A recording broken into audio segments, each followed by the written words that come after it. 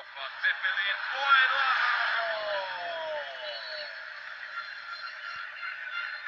Да, го предизвика ова задоволство, ова ерупција. Македонија со одличен финиш.